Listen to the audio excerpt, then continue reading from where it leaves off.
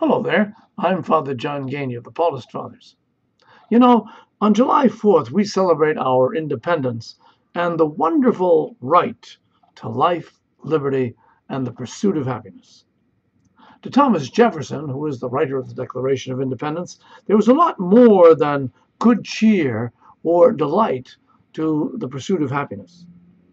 Jefferson thought like Aristotle, who believed that happiness was the whole point of life, saw it as an ultimate good, something that was worth seeking just because.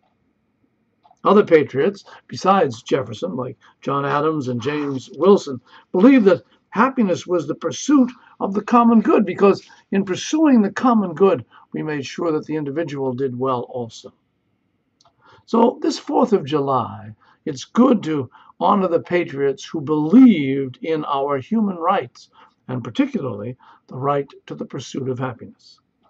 And it's also a good time for us to thank God for the many other rights outlined by our founders in the Declaration of Independence that give us many reasons to thank our God for the United States of America.